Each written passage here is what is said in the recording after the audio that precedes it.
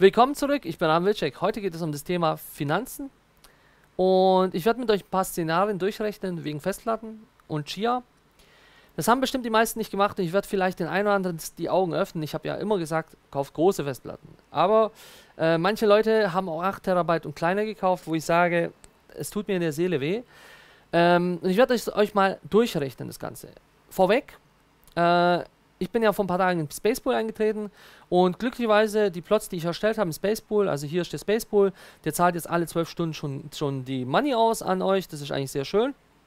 Und die Plots, die ich damals erstellt habe, in dem Video, also hier oben beim Ausrufezeichen, äh, könnt ihr euch das mal anschauen, äh, sind alle gültig gewesen. Ich habe keine Verluste gehabt und ich habe jetzt 308 Plots, ja, äh, plotte jeden Tag weiter. Und ähm, ja, ich bin eigentlich zufrieden an der Stelle mit dem Pool. Äh, das Einzige, was mich stört noch, und äh, da können wir uns mal anschauen, äh, mein, mein, mein äh, meiner hier unten, seht ihr, da, da hat mein äh, Internetprovider gemeint, er meint, er muss irgendwas an seiner Interleit Internetleitung machen, ja. Merkt man gleich, das ist gleich Geldverlust, aber nicht so viel noch, aber äh, wenn man dann größere Farm hat, dann muss man sich überlegen, ob das Sinn macht, dann eine abgesicherte Leitung zu haben. Äh, was mich noch stört, äh, ist die Payouts. Und zwar, ihr seht es, ich kriege hier 0,0019 und 0,0008 und 0,00. Ja, also ich will irgendwann auf 0,1 oder 0,2 Chia umswitchen, wenn das möglich ist. Aber ich kann es noch irgendwo nicht einstellen. Ja, ist ein bisschen blöd. Muss ich noch irgendwie, äh, ja, gucken, wie das geht. Weil das da hier ist etwas unnötig. Ja, viel zu, viel zu kleinen Zahlen meines Erachtens. Okay, aber kommen wir jetzt mal ähm, zu, meinen, äh, zu meiner Berechnung, die ich euch zeigen möchte. Und zwar habe ich hier mir vier Festplatten ausgesucht. Einfach alle von Seagate. Wieso? Weil die am günstigsten waren. Ich kann sie euch mal zeigen und einen Link tue ich euch unten rein in die Infobox. Ja.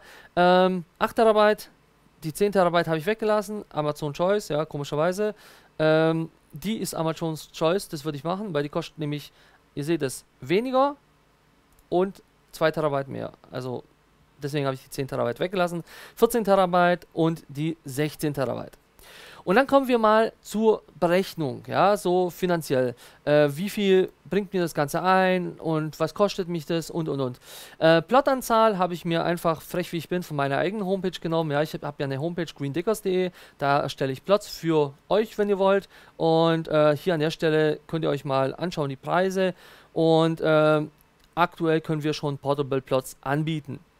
Obwohl es, ja, das muss ich jetzt heute Abend nochmal ändern, äh, obwohl es hier dran steht, wir nehmen keine Vorbestellung und Portable Plots gehen nicht. Äh, auf jeden Fall, hier nehme ich mir einfach die Größen, wie viele Plots auf welche Festplatte draufkommen, ja, und habe mir das Ganze mal durchkalkuliert. Dann habe ich, äh, dann ich mir den Strom mal äh, durchgerechnet und zwar habe ich so einen Powermeter genommen, äh, wie das da hier, habe es 24 Stunden dran gelassen, habe abgelesen, so und so viel Kilowattstunden hat das Teil gefressen, ja, meine Festplatte. Das ist nur zwar ein grober Ansta an also Anhaltswert, reicht aber aus, dass man sagen kann, so roundabout habe ich und ich habe ein bisschen was draufgeschlagen, ja. Das heißt, dann habe ich mir die Stromkosten pro Jahr ausgerechnet, also Kilowattstunden am Tag mal 365 äh, mal den Strompreis. Ich bin 0,30, also 30 Cent pro Kilowattstunde. Dann bin ich zu den Stromkosten pro Plot. Ja, bei der 16 Terabyte ist ja klar, da muss man mehr Plots erstellen wie bei der 8 Terabyte. Und bei der 16 Terabyte Festplatte kostet mich das äh, ich kann es euch mal zeigen. Ich habe ausgerechnet, ein Plot erstellen kostet 0,15 Kilowattstunden. Wie habe ich das gemacht? Äh, mein PC frisst 300 Watt durchgehend pro Stunde. Er äh, kann zwei Plots pro Stunde erzeugen, das heißt 0,15 Kilowattstunden äh, verbraucht er für einen Plot. Und dementsprechend sage ich mal den Strompreis mal Anzahl der Plots ist hier der Strompreis, das mich die Plots erstellen kosten. Dann habe ich mal für die Gesamtkosten für ein Jahr errechnet, mit natürlich der äh, Festplatte und natürlich die Gesamtkosten für fünf Jahre.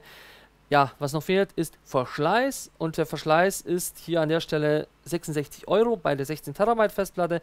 Das heißt, für die SSD ist ein Verschleiß von 66 Euro fällig, wenn die vollgeschrieben ist. Klingt erstmal nach viel und woher kommt es? Ganz einfach. Ähm, Durchschnittlich geht man davon aus, dass 1,8 Terabyte pro Plot erstellt, also Daten geschrieben werden auf eine SSD.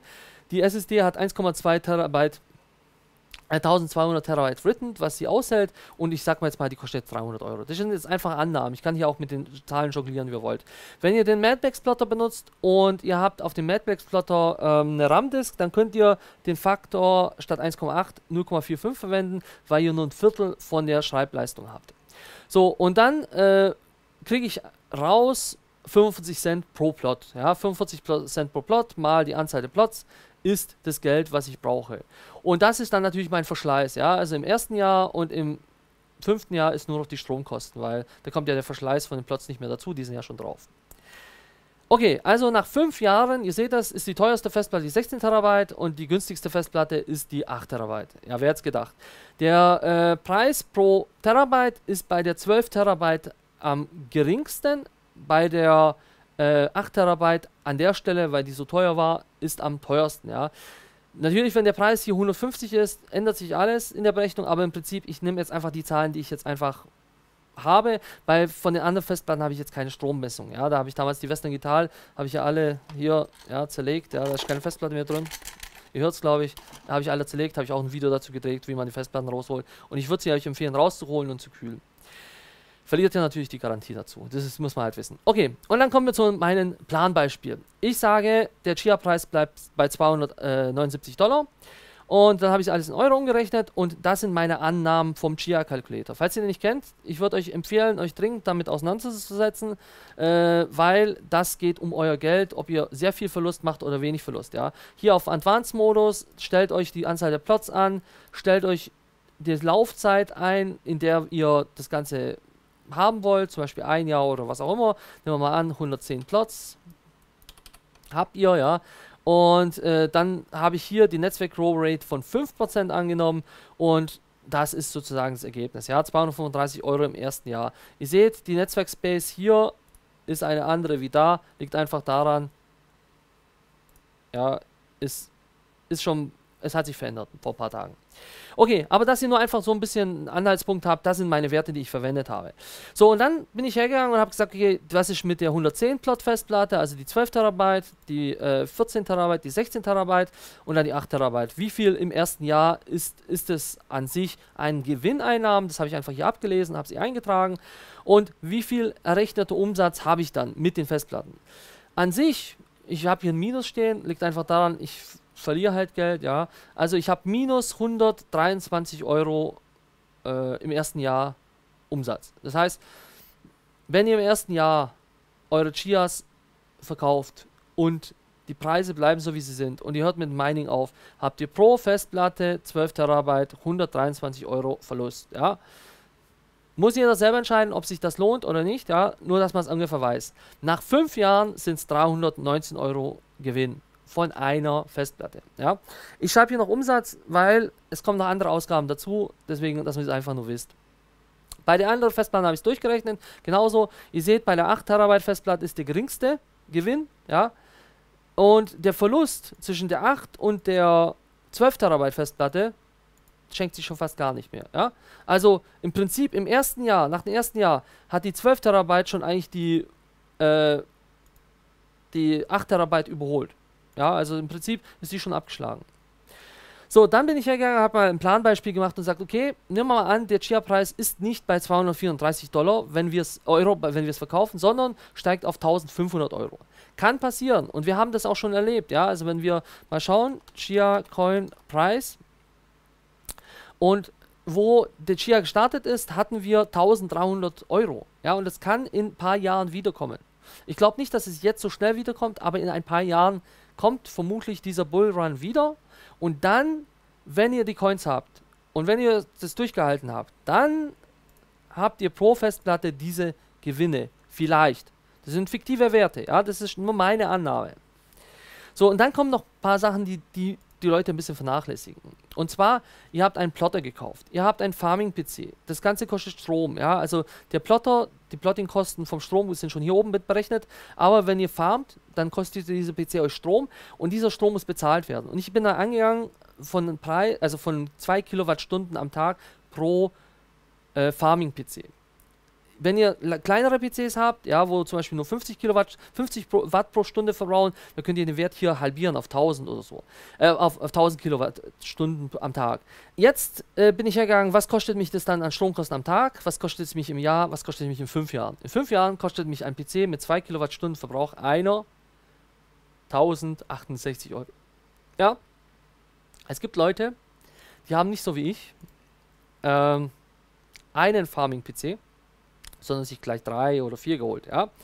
Und die verteilen ihr System gleichmäßig. Das habe ich auch gemacht, wo der Chia-Preis bei 1300 Dollar war. Aber je mehr er fällt, desto höher muss man schauen, das, was euch auffrisst, ist der Strom. Ja? Ihr seht mal meine Farm. Und meine Farm hat 1050 Plots, ja, weil ich ein paar gelöscht habe, weil ich jetzt für Poolplatz Platz mache. Ja? Und das heißt, auf einen PC laufen 3000, 3050 Plots, Entschuldigung, ja.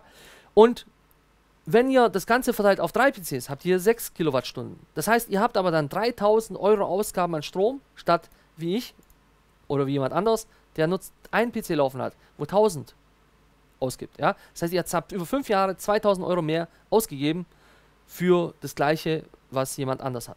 Ja?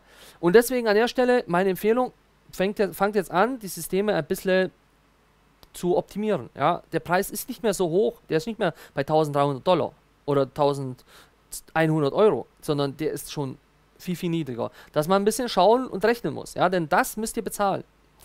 Dann ist es so, man hat natürlich Hardwareausgaben und ich gehe jetzt mal einfach davon aus, dass ihr Hardwareausgaben von 3500 Euro habt für euer Plotting und Farming PC. Jetzt gehen wir mal einfach an, ihr habt eine Festplatte. Und dann sage ich, okay, wie viel sind die Hardwarekosten in einem Jahr, fünf Jahren? Ich bin jetzt eigentlich nur, habe einfach nur von einer Festplatte da oben, der 12 Terabyte, das mal ausgegriffen. Und auch die PC-Kosten, ja, im ersten oder im fünften Jahr. Aber das ist eigentlich so nur einfach so, so ein Ding, wo eigentlich uninteressant. Interessant wird es hier, das da hier. Und zwar mein errechneter Gewinn oder Verlust. Ja, ich schreibe jetzt hier Gewinn. Gewinn im ersten Jahr mit einer Festplatte bei dieser Konfiguration, wenn ihr einen PC habt, der 100 Watt verbraucht und eine Festplatte habt, ihr habt eine 8 Terabyte Festplatte, Verlust von 4000 Euro fast. Ja, klar, äh, das ist heftig, dann geht es weiter, auch 4000, auch 4000, auch 4000. Also fast alle liegen um 4000 rum. So, jetzt machen wir hier mal, die Anzahl erhöhen wir mal auf 8. Ja. Es wird nicht besser. Ja, im ersten Jahr kommt ihr nicht auf den grünen Zweig. Das funktioniert nicht. Jetzt schauen wir uns mal nach fünf Jahren an, denn das muss jetzt also jedem klar sein, okay, im ersten Jahr bei dem Chia-Preis von 234 Dollar, der aktuell Euro, der vorherrscht, komme ich nicht auf den grünen Zweig im ersten Jahr. So. Das heißt, ihr dürft eigentlich nicht die Chias verkaufen. Wenn ihr sie jetzt verkauft, verkauft ihr sie zu, habt ihr diesen Verlust zu erleiden, ja, was eigentlich fatal wäre. Also müsst ihr sie halten. Halten mindestens über fünf Jahre. So. Ihr könnt natürlich sie jetzt auch verkaufen, verkaufen, verkaufen. Dann über fünf Jahre hinweg wäre das euer Gewinn. 371 Euro. Bei 10 Festplatten und wir reden von den 16 Terabyte Festplatten, sind die ersten, die in die Gewinnzone kommen. Die 8 Terabyte Festplatten haben immer noch 2000 Euro minus. Wie viele brauchen wir dann von den, äh, für Festplatten? Wenn ich auf 16 gehe, reicht nicht. 25, ab 25 Festplatten, 8 Terabyte bei aktuellem Preis, würdet ihr dann auf 62 Euro Gewinn kommen. Da seht ihr aber schon, die 16 Terabyte Festplatten habt ihr schon 6000 Euro Gewinn. Ja, und hier schaut euch bitte das an, das ist nämlich wichtig. Nach fünf Jahren hinweg sind eure Ausgaben mit Festplatten, mit Stromkosten, mit Hardwarekosten, mit Stromkosten für die Hardware, äh, für die Plotting und Farming PCs, ja, insgesamt 19.000 Euro bei 6.000 Euro Gewinn. Hier 14.000 Euro Ausgaben bei 60 Euro Gewinn. Und ich hoffe, jeden ist jetzt sofort klar geworden. Kauft keine kleinen Festplatten. Ja, denn vielleicht habe ich mich verrechnet. Aber nein, es ist einfach nur das, das Problem, dass so wenig Platz darauf passen. Jede Festplatte verbraucht ihren Strom und das rentiert sich einfach nicht. Ja? Und äh, deswegen an der Stelle geht auf die großen Platten. Und natürlich müssen die irgendwo finanziell im Rahmen sein, ja. Ähm, aber alles, was über 380 Euro drüber ist und ihr habt eine 16 Terabyte Festplatte, lohnt sich nicht, ja. Ich sag mal so, das ist vielleicht so der Preis. Hier würde ich eher auf einen Preis von 150 Euro anfehlen. Dann könnte es vielleicht noch in die grüne Zone irgendwo kommen, aber ich kann nur die Preise nehmen, die aktuell vorherrschen. So, also ich glaube, jedem ist jetzt klar geworden, äh, das ist, das ist nichts. Ja? Also mit wenig Festplatten kommt ihr nicht voran. Und wenn ihr meines Erachtens nach unter 8 Festplatten habt, ja, oder sagen wir mal 6 Festplatten habt, dann müsst ihr eine ganz andere Strategie fahren. Ihr macht einfach eine Strategie, wenn ihr mit eurem PC zocken wollt, eurem PC, dann zockt ihr und nebenher läuft Stier. Und wenn ihr ihn ausmacht, dann macht ihr ihn aus. Dann kann man sagen, okay, ich benutze den PC ja so oder so und dann laufen die Festplatten mit. Ja, dann sind halt, dann ist das, diese 1000 Euro nochmal gespart indirekt, weil ihr den PC ja so oder so anhabt. Ja, dann müsst ihr immer eure Farm zwar anmachen und alles, aber das ist die einzige Möglichkeit, wo ihr dann, ihr seid ja im Pool und ihr könnt dann euer Geld regelmäßig erhalten. Ähm, ab 10 Festplatten kommt ihr ja mit der 16 Terabyte das erste Mal hier in die Gewinnzone. Ihr habt aber 10.000 Euro ausgegeben und habt 371 Euro eingenommen. Das heißt, mit 10 Festplatten ist nichts. 20. Ihr habt 16.000 Euro ausgegeben und habt 4.000 Euro eingenommen. Boah, wahrscheinlich zu wenig. 40. 28.000 Euro ausgegeben 12.000 Euro eingenommen. Und ihr seht, ich fa fasse gar nicht die anderen an. Ja, das ist, die sind schlechter als das. Also fasse ich die gar nicht an von den Zahlen her. Ist eigentlich fast noch zu wenig. Ja, das ist Hälfte. Machen wir mal 80. 80 Platten. 50.000 Euro eingenommen, 28.000 Euro eingenommen. Das ist ungefähr die Hälfte, mehr als die Hälfte. Dann kann man reden, okay, wenn man in 5 Jahren 28.000 Euro einnimmt, das ist gut. Ja. Und ja, und jetzt ist die Frage, 80 Festplatten, 50.000 Euro ausgegeben, das kann wahrscheinlich niemand. Und jetzt bleiben wir bei den realistischen Zahlen von 10. Denn ich glaube, 10 Festplatten müsst ihr Minimum jetzt aktuell haben, um überhaupt äh, einen vernünftigen Gewinn zu haben. 16 Terabyte Festplatten. Und dann habt ihr über 5 Jahre hinweg 10.000 Euro ausgegeben. Das ist euer Risikoinvestment. Das Geld kann komplett weg sein. Natürlich habt ihr die Hardware, aber seid mir ehrlich, nach fünf Jahren Festplatten, die fünf Jahre lang liefen, die sind auch nichts mehr wert. Ja? Und das ist eine der, wenn ihr, wenn ihr hier 300 Euro ausgibt für 380 Euro für, für eine Festplatte, dann sind es 3800 Euro allein da Ausgaben. Ja? plus eure Hardware. Vielleicht kriegt ihr die Hardware noch los für einen Tausender, wenn es gut kommt, eher für 500er Euro, wenn es gut kommt, würde ich sagen. Ja. Also könnt ihr maximal vielleicht hier, wenn ihr eure Hardware dann verkauft, wenn ihr sagt, ihr brecht das ganze Projekt ab nach fünf Jahren, dann kriegt ihr vielleicht hier 1000 Euro raus und das ist schon echt gut geschätzt. Äh, da seid ihr immer noch mit 9500 in der Miese, wenn das Projekt in die, in die Wand gefahren wird, an die Wand gefahren wird. So, und jetzt der Gewinn wäre dieser. Also sind wir uns, glaube ich, alle einig, das ist nichts. Ja. Und jetzt schauen wir uns die unteren Zahlen an. Und die unteren Zahlen beziehen sich auf den Preis, dass der Preis wieder steigt. Ja.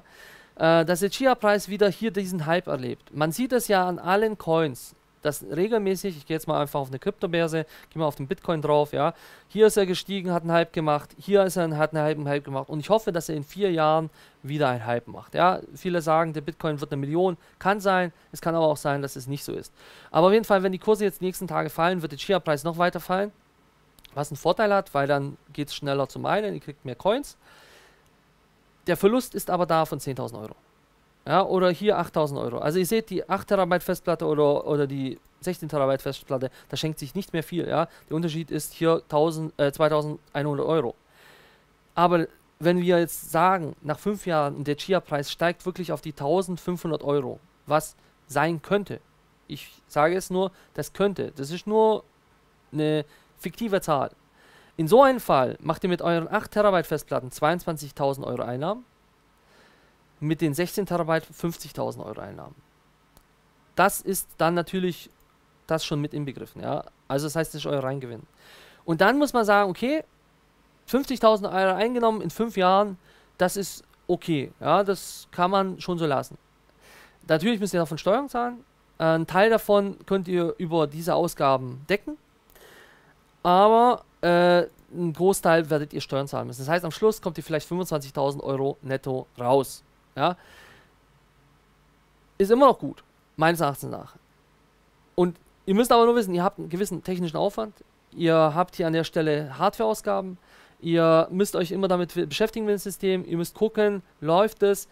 Es ist nicht einfach mal ohne. Ja? Deswegen an der Stelle unter 10 Festplatten. Meine Empfehlung, also vielleicht noch 9, ja, könnte man so sagen. Aber ab 10 Festplatten, meine persönliche Meinung ist nichts. Ich habe ja jetzt schon 24, 26, 27, 28 Festplatten. Ja. Und ich habe viele 14 Terabyte Festplatten und ich habe viele 16, also vier, Fest, vier 16 Terabyte Festplatten. Ich kaufe nur noch die 16 Terabyte Festplatten. Und wenn ihr das seht, das sind 150.000 Euro. Ja, das ist schon etwas, wo ich sage, über fünf Jahre, damit kann man leben. Aber ich habe Ausgaben von 22.000 Euro fast. Ja, und das ist etwas, das ist mein Risikoinvestment, das ich bereit bin einzugehen. Und das kann ich auch stemmen. Ich muss keinen Kredit aufnehmen und ähnliches.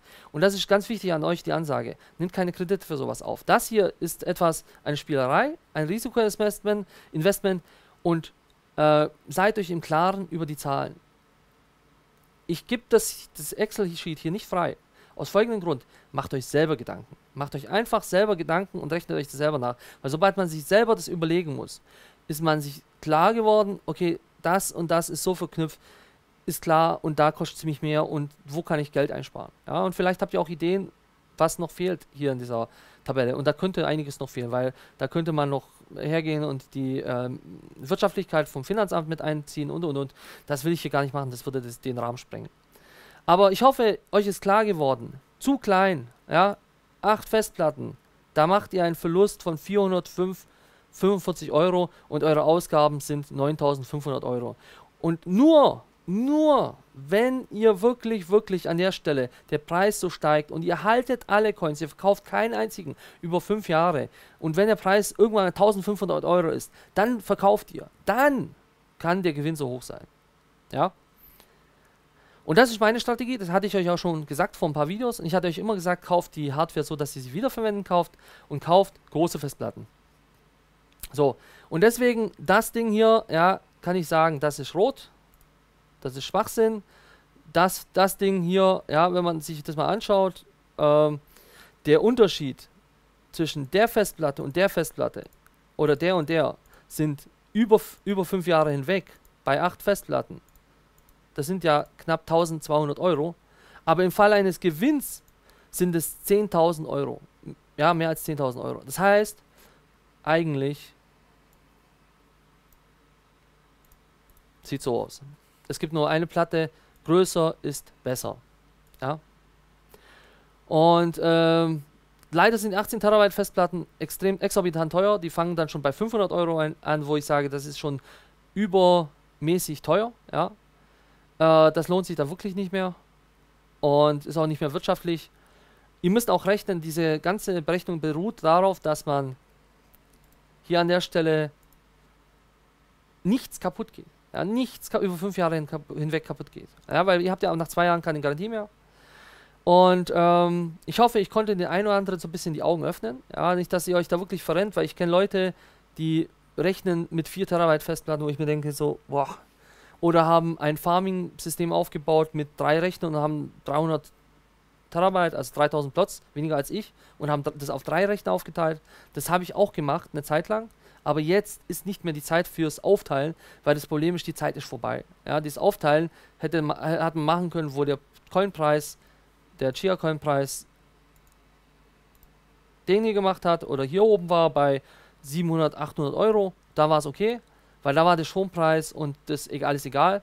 Da war, da war es nur Hauptsache wichtig, man war schnell fertig und das System, wenn ein System ausfiel, das war blöd, weil das Netzwerk war noch klein und man hat geguckt, okay, wenn ein Knoten ausfällt, dann ist das nicht so relevant, aber Hauptsache es läuft der andere Teil. Aber jetzt ist es so, jetzt sind wir auf einer Stufe, wenn ich im, im, im Pool bin, dann ist mir das egal, wenn ich einen Tag offline bin. Weil ein Tag offline heißt notfalls 5 Euro Verlust, 10 Euro Verlust, ja, vom Pool her, an Chias.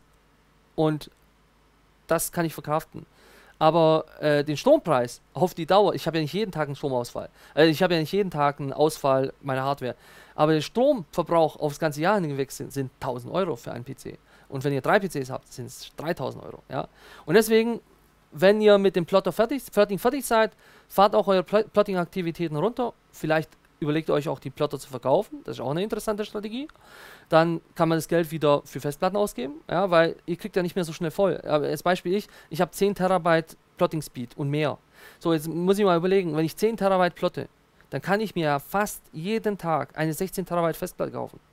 Ja? Und ich kann euch sagen, irgendwann sagt Amazon, ja, wenn ich jetzt nochmal versuchen würde, eine Festplatte zu kaufen, können wir ja mal kurz machen, die sagen, nee, nee, dir, dir verkaufen wir keine Festplatte, du kaufst nämlich zu viele von denen.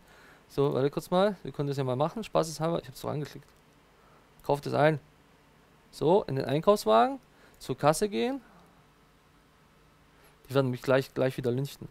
Schickt es an, an meine Adresse, ja, an diese Adresse schicken. Ja, es gab Probleme mit ihrer Bestellung. Wir geben ihnen das nicht her, ja. Äh, ich muss da immer ein paar Tage warten und äh, das ist halt blöd. Aber es ist halt so, ja. Äh, bis ich wieder ein Festplatte bestellen kann. Und äh, hier an der Stelle, ja, ihr müsst dann auch irgendwo die Shops tauschen und gucken, wo ihr die Festplatten herbekommt. Ja, und damit schließe ich für heute ab. Ja, ich hoffe, das Video hat euch gefallen. Schreibt mir gerne eure Kommentare. Ich, wie gesagt, ich tue die Excel-File nicht hochladen äh, weil ich denke, das muss sich jeder so ein bisschen selber Gedanken darüber machen. Schreibt euch selber auf, rechnet euch selber durch. Das ist der Aufwand, den ihr eigentlich schon treiben solltet als Miner. Mining oder Farming ist gewerbepflichtig, ja, und das solltet ihr auch so gemacht haben. Und äh, damit bedanke ich mich. Schreibt mir, wie gesagt, eure Kommentare. Lasst mir einen Daumen hoch da und natürlich ein Abo, falls ihr mich nicht kennt. Wir sehen uns beim nächsten Mal. Ich bin Arvil Jack und schalte wieder ein. Bis zum nächsten Mal. Bis dann. Ciao, ciao.